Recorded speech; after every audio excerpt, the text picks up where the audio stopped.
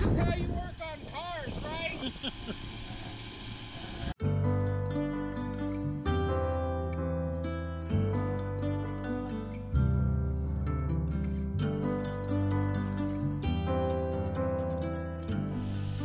All right, everyone. I just wanted to give you guys a brief overview of the car in the daylight. Um, so here we have our 1984 Ford LTD Crown Victoria. Under the hood here, we have engine bay. It is uh, hopefully complete. There's my new power cable that I put on, that red one. Um, there are a lot of wires and vacuum tubes here. Let's get this uh, little intake off. Here's that throttle body fuel injector I was telling you about. Uh, I'm not sure what most of that is, but uh, we're gonna we're gonna see what we can do with that because uh, not sure how to replace that. Um, but we're gonna we're gonna do what we can. Let's check on the uh, throttle here. That does turn the little plates inside, so I think that's that's a good thing. Um, let's see. Uh, what else? Okay, we are doing. Oh, uh, I'm okay. Doing some power washing under the car to clean it out, all the rust, so we don't have to lay in that today. Uh, Dad's uh, assisting with that, so thank you, Dad. Okay. Yeah.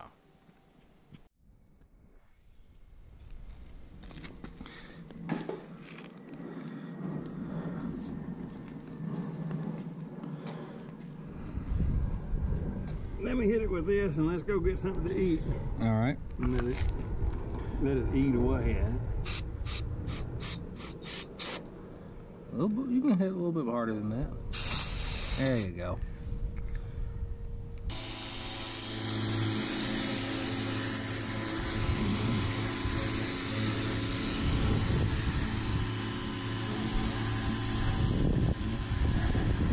This is how you work on cars, right?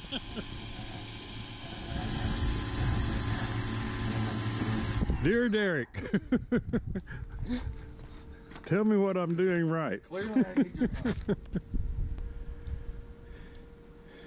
You got to watch your language now. This is a G-rated film. I don't curse. I know that, but uh, I don't think anyone's ever heard me curse in the history of the world. I heard you say "Oh Shaw" a while ago, so let's cut that out. Shucks. So, think whoever put this in used some of that room temperature vulcanization cream to lock it in place. I'm trying to cut it out with an X-Acto knife.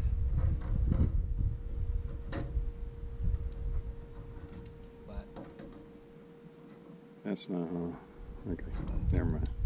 I'm also not sure how successful that's going to be.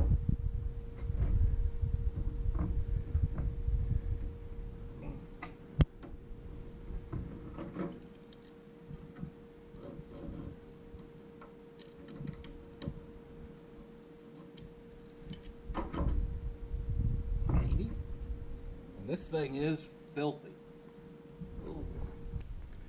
Alright, so I was able to finally kind of get this thing out by just prying it up with the uh, the pliers here.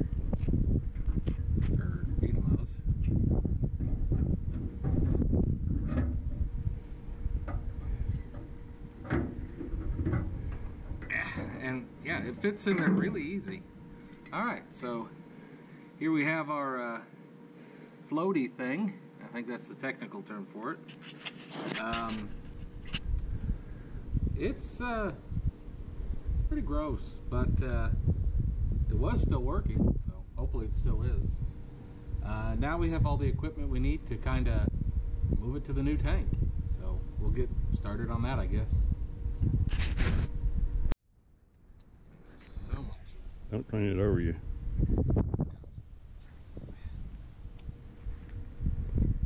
is so much of this plasticky stuff. I don't even know how to get that off. I had one of them uh, fancy whirlings.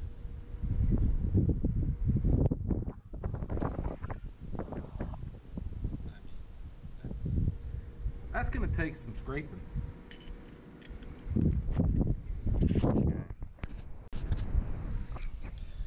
I got updates. All right, so cleaned up uh, the floater or the sending unit. Um, it looks uh, silvery now for the most part. That took about 15 minutes. Um, that thing moves, so uh, I'm gonna say that's gonna be ready to put in. And then we have the pump itself. Uh, I had ordered a new one of these, but uh, they called me today, the day of delivery, and said it was out of stock. So I'm going to try and uh, refurbish this one as best I can. Uh, it was working. Uh, the sock is really dirty though. Um, I'm not quite sure how to clean that, so I'm probably just gonna uh, spray it with a bunch of brake fluid cleaner and uh, then try and scratch off all of this rust and uh, see if that works. I'll uh, I'll let you know how it goes. All right, uh, been working on cleaning off the uh, uh, fuel pump and the sending unit, which is the little float thing. We've been making some good progress with that. They're getting cleaner. Um, we are going to have to take a break to go to the store to buy some more brake cleaner um, just to make sure that we can get them really clean because we can't really replace that sock. Um, so we're going to head out there and we'll be right back. Okay, here's where we're at right now. Uh, the new tank is right here. Uh, the fuel uh, sensor, sending unit, I think they call it, uh, is installed with uh, some new bracketry. Um, I was not actually sorry. No, the new one didn't come, so I had to uh, use the old one. But I did have new bracketry. It's in there pretty good. Um, and this is uh, the thing that connects into that. Um, so I feel pretty good with that part. Also, of note, the fuel pump, uh, which is on the other side of this, uh, was not uh, in stock. Even though they said it was going to be delivered today, that's fine. So, I don't have uh, a new one in there, but I'm using the old one. I cleaned it out really well with uh, brake fluid, so we're going to go with that. Um, the filler neck rubber grommet thing that's over here somewhere. Uh, we got that in. Um, and are working with that. Um, the tank straps, uh, I got these kind of bolts um, for them because that's what one of them that was in there looked like. I've never seen these before or used these, so I think I'm doing it the right way because it comes with a. Hang on. Hold on. Hold on. Ugh. It comes with a, uh, um, this thing, uh, and basically what you can do is screw it on there, and that'll screw up to uh, the the this part, and then it'll start twisting the whole bolt. So I think that's what you are supposed to do. Um, I am kind of guessing here, but we're gonna try that. Um, as for me, uh, this is a pretty miserable job. Uh, I'm not gonna lie. Uh, kind of laying in the dirt and the rust and the bugs, and uh, I got a lot of in my in my eye, so I'm wearing eye protection now. Um, and uh, it's just at a really uncomfortable angle and very difficult to do anything. So uh, it's rather stressful um, to kind of get the tank up. If we had a lift or something, I think that would make it much better. But unfortunately, we don't. But that's okay. So uh, the big problem I'm having right now, though, is that uh, I just getting rust in my hair uh, is that I don't remember um, which uh, hoses go to what and they don't reach. So I should have marked that. Uh, that's my fault. But uh, I'm just trying to find hoses that'll reach to, to whatever they have because we're real close to getting this in, but I'm really stuck because I don't know where things go because I know there's a sending hose, uh, a return hose, and uh, like an evap hose. So we're going to work on that and I will let you know how that goes. One more thing. Um, I did uh, order some new straps for the uh, for the tank. Uh, these are the old ones um, because the new ones had uh, a different thing and it wouldn't wouldn't fit here. Um, so that was kind of disappointing. I don't know if you can see that or not. It wouldn't fit here. Um, so what I did was I got a, uh, uh, as Derek calls them, a, whir- a whirly woo, um, and uh, cleaned cleaned the rust off of this as best I could, and then I sprayed it with uh, um, Rust-Oleum uh, something that uh, turns it black and is supposed to protect it against the rust. So hopefully these straps will keep lasting me. They seem like they're they're pretty good. Um, as you can see, like there's just a ton of rust, and I I don't really know how I can get rid of that. Like I've I've pressure washed under here twice already and degreaser, um, but uh, but it's all still there. Like just just everywhere is just just filthy, and uh, I don't really know kind of where to go on that. Um, but yeah, as I said, uh, I'm going to keep working on the tank uh, and try and get it um, try and get it in, um, and hopefully uh, soon I'll be able to uh, to have that in and report back to you. Okay, so still working on the fuel tank. Um, you know, that's fine. Uh, right now, where we're at is um, I got the new fuel tank is in like I got it held up by one of the straps uh, I think this hose goes on to here uh, the end of this thing was a little bit the end of this thing uh, had a little bit of flare to it um, so I don't know. That might go there. I got a 50-50 chance because uh, from the fuel sending unit that's uh, on the uh, trunk side of the uh, gas tank, um, there are two lines that come out of that, and the line on the uh, uh, driver's side should go to the hose over there leaving the other hose, the one on closer to the passenger side, coming over here, which is uh, this hose right here. I don't know if you see it. Unfortunately, this hose is about six inches too short now to reach. So I uh, I'm not sure why that's happening. Um, oh, hello, little fella. I don't know what you are. That's disgusting. Okay, um, so I have got to figure out how to, because I think this one is the one that is the fuel sending. So this should be spurting out fuel if everything's working. Meaning this line also should have a break in it somewhere. Which, I mean, like, uh, I, I find a hard time believing that. I mean, these lines are in pristine condition, but you know, maybe they do. Okay, so maybe if I drop the tank again and uh, try and get more line this way, I'll have enough to reach here.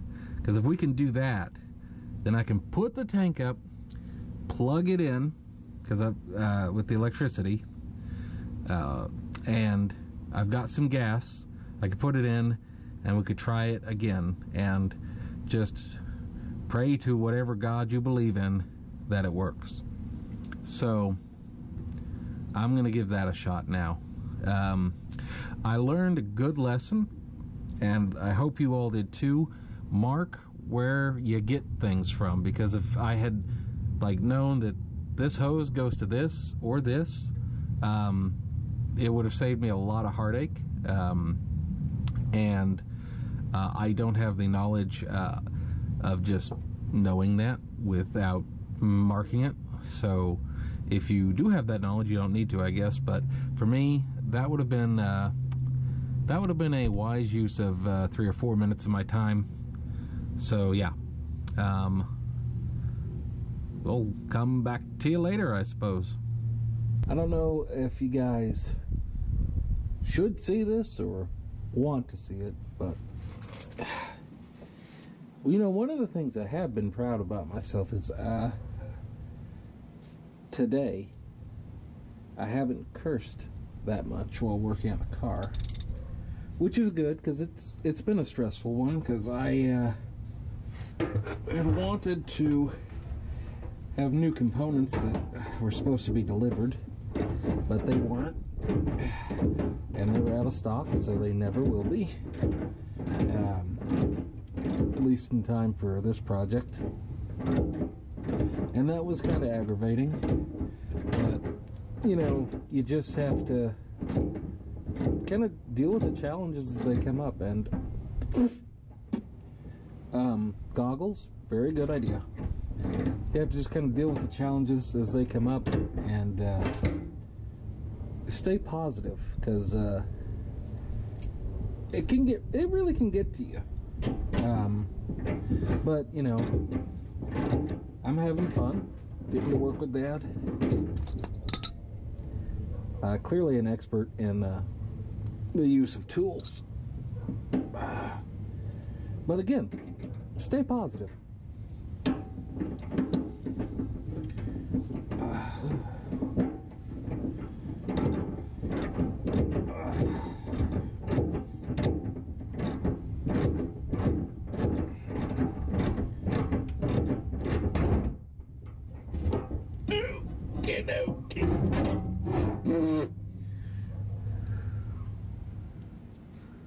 At least. Okay. Is that bolt? That, the bolt. Here, come with me. The bolt. Seems like it's in there pretty well. Uh, you need a light.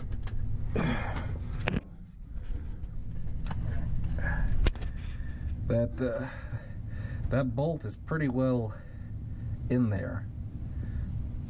I'm uh, hoping that it'll hold the gas tank, but uh, you know, I guess we'll have to see.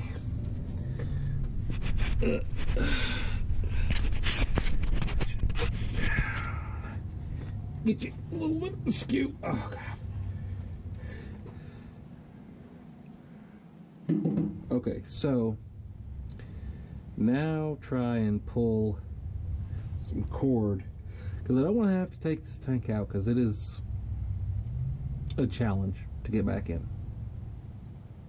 Okay, so we're here on the other side. I'm gonna try and see if I can't get a little bit more slack on this cord fuel line. And I can't. So, hmm. Let me come back to you. All right, well, uh, still working on some things. Um, we've got uh, the gas tank door off, which allowed us to take the filler neck out of the vehicle uh, and we were able to get the uh, gas neck into the grommet there which has been giving us uh, which has been giving us a great amount of uh, consternation and issues. However, uh, we are going to have to figure out how to get it in there while because we can't take this metal piece off. So we're gonna have to figure out how to get that in the that in there while also through there. So we've got uh, we got some things to figure out. Um, continues to be uh, very rusty um, under there, and uh, that's fine. All right. Yeah. All right. So, kind of right now, just trying to like twist this pipe and like just get it to to fit in a little bit better and be okay with that. But like it's a it's a tight fit. Like i don't know why um it's quite so uh like it's not even like turning. Uh i did put oil on it uh to try and help lubricate it um but it's like it really doesn't want to move once it's in there and that is going to be a problem in trying to get it on. So just kind of keep keep doing this and hopefully it'll start loosening up that rubber grommet and uh, will be easier to go in when we finally try and put it in uh, well, bad news. Uh, this popped out. Um, and it just, like, I don't know, like, it's not. I ordered the grommet, uh, little rubber part that it said for me to order, but it just, like, it's really just ridiculously, like, tight. Like, I, this isn't a high pressure line, it's just holding gas that flows in. I don't know if I'm just doing this wrong or what, but this has quickly become the most difficult and frustrating part of this entire process so far. Um, yeah, I just can't like like it like why why you gotta be like that I don't know. okay, um, so update. Uh, we took off the rubber piece that goes in there. Uh, so hopefully we'll be able to get that into the neck. We are also going to start using some uh, uh, Dawn uh, to provide lubrication for it. Uh, we're going to replace the old broken uh, uh, clamps with these new ones. I got bit by an ant, and uh, we're going to use this to replace the seal on the filler neck here. So, uh, yeah, we'll let you know how that goes, hopefully soon. Uh, this has been a very complicated process. Uh, so, oh, there's another rubber thing that's broken. Good. Uh, so if you uh, are replacing your gas tank, keep that in mind. Dad's been working on uh, uh, cleaning up the uh, the vinyl top, and he's been doing a good job with that. It's still got a long way to go, and there's some places that'll need repair. Or that's Spider, don't touch him. Hello. Um, so we're gonna keep trying to juice this up and hopefully bring it back as much as possible. But I don't know how we can repair like all of these little guys. So we may have to figure out how to do a new vinyl top. We've been using uh, VLR, vinyl leather rubber. Cleans, conditions, and protects. Penetrates for deeper. Um, so, I mean, it feels cleaner. Alright, so this hose Again, this is one of our 50-50 chance hoses. Here's one of the new clamp things. Should just kind of go in here and just push it there. And uh, oh, MG, I fixed something. Maybe. Yeah, that feels like it's on there. I'm back here anyway, and I've uh, had to drop the tank. I thought I might as well show you. All right, this these are the two lines. Uh, this one is on the driver's side because I'm under the trunk right now. Um, so this one, I believe, goes to uh, the line over there, and then this one is running that way to the passenger side. I think. See if we can't get these in. Ah, it's probably not how that's supposed to go. Ay, ay. Ay, okay. Okay. Nope, nope. Stay on there. Stay straight. Hmm. Oh, maybe. I don't know. I don't know. Hey, hey.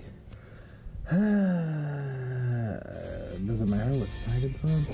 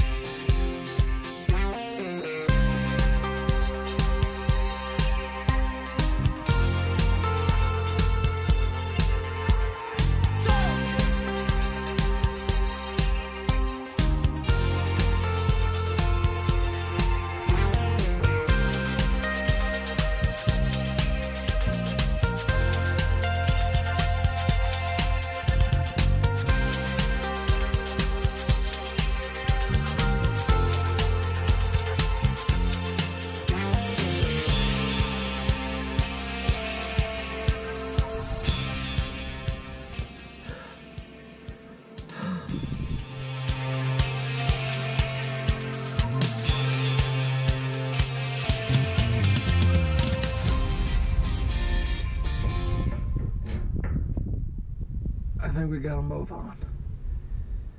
Well, after much effort, we got the tank in and the filler neck hose in. So we're doing good. Uh, just need to bolt that back up in there. Um, but yeah, we're uh, we're making progress. Uh, yeah. What do you think, Dad? You did a great, great, great job. What is this? Is this a gas tank that's installed in this car? What? All right, Dad, you want to do the honorary pour? See if anything leaks out. All right, here we go. First time putting gas in this tank. I hear it. I hear it going in.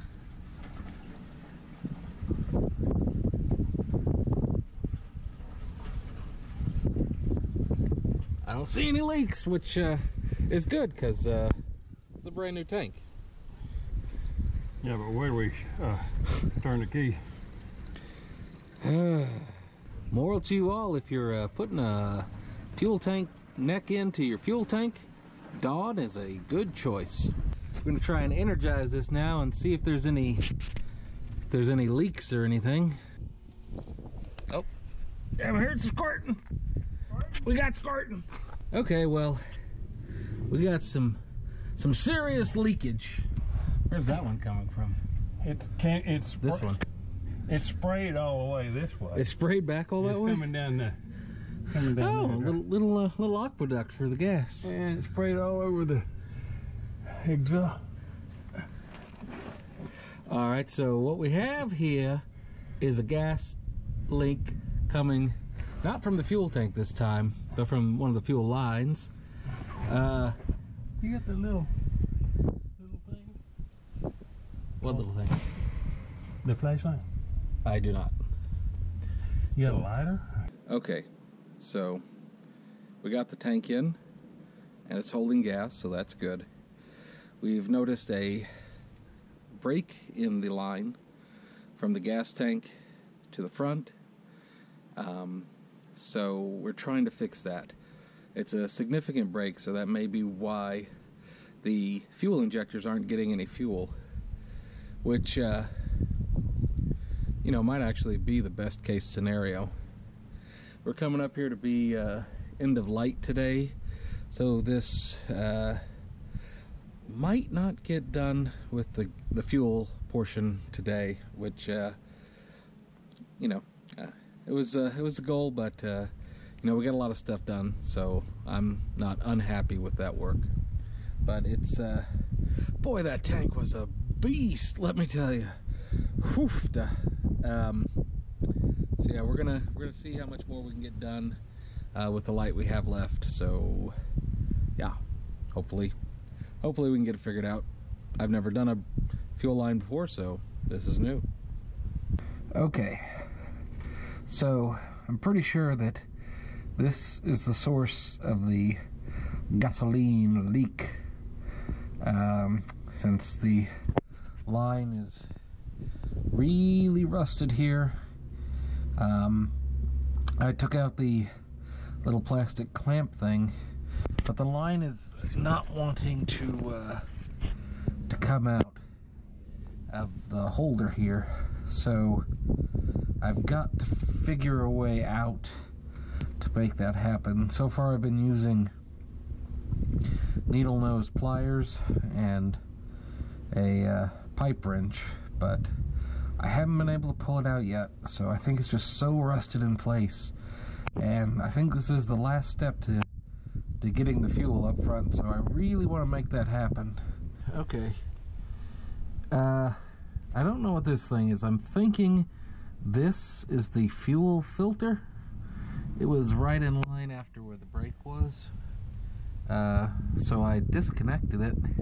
A little bit of fuel leaked out, not too terrible much. Um, so what if I ran a line from that to my good line and just bypass that whole place entirely? Is that something I can do? Okay, now I know this isn't a permanent solution, but I'm thinking maybe I can do this just to kind of hear it run, see if it works. I don't know.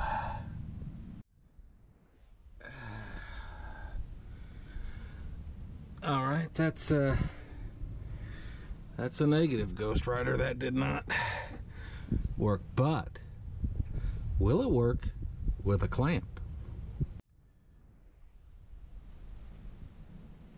Okay. Um, is it a dumb idea if it works? Maybe a dumb idea. Okay. I have a clamp now on what I believe is the fuel filter, and hopefully that will stay. Great.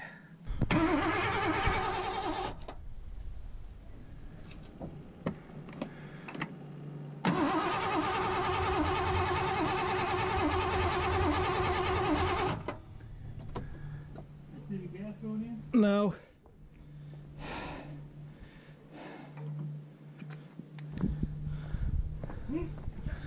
Okay, not seeing any under the car. So, That's a win. That's a win. that's a win. We don't have any gas to put down the tank, do we? Yeah, there's a bottle right there. Oh. Alright. That's way too much. Way, way too much. All right, well, let's see what. I'm gonna just stand back here then.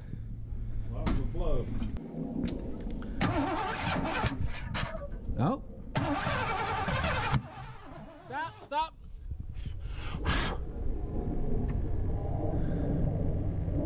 Okay, try it again.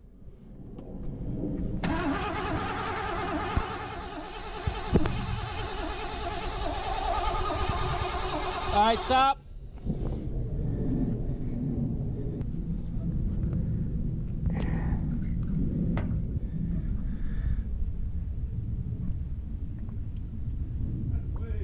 Way too much. That's, it'll be fine. Yep.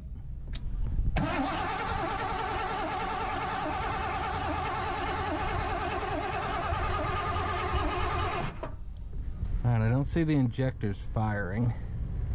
Alright, so we don't have any fuel leaks from the tank uh, at all. And I don't see any fuel leaking out of the car. So I'm assuming that it's making it up here. I'm not seeing it come out of the throttle body injectors.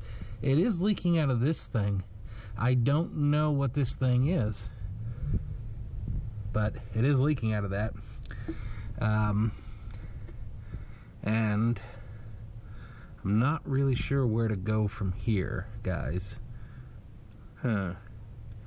Since we're losing daylight, this this may be it for this week. Um, so Dad and I will try and figure out what this is, because I think we got the fuel coming up here. Uh, I'm not seeing it leak out anywhere else. Um, could be clogged uh, throttle body injectors. Could be a clogged line somewhere. Though it's leaking, so I'm thinking it's coming out. Um, if you know, please put it down in the comments and tell me, because uh, I would appreciate that. Because I'm kind of, kind of at a loss for the moment. But we did good work this week. Uh, good use of my weekend. I was happy with it. Uh, got to work with Dad, so I was happy for that too. Um, we had a good time despite uh, the severe hardships we faced at some points. I didn't quite get done everything I wanted to get done uh, this weekend, but that's okay. We got the new fuel tank in, which is great. Um, I cobbled together some lines, which uh, hopefully will hold for a little bit, um, so that's good as well. Um, and we've hopefully moved fuel up to the front so we can try and figure out what's happening there. I don't really know uh, where to go from there, but we'll hopefully be able to figure something out. Next week, um, or for the next video rather, um, we're going to be moving to the front of the car, hopefully, and not have to be under the car anymore, which would be just, I can't tell you, it'd just be so wonderful. Um, but, uh, yeah, try and figure out the stuff under the hood um, and why it's not starting. Like it'll crank, but it won't start. Because you need three things to make an engine run. You need a dull, weak spark, which we have, compression, um, which it sounds like we have when the engine turns over, and fuel, which we should be having, but we're not. So we've got to figure that portion out. Um, yeah, so if you guys uh, have any questions or comments, please feel free to leave them down below. If you like the video, please leave a like. Um, and thank you so much for watching. I really appreciate it.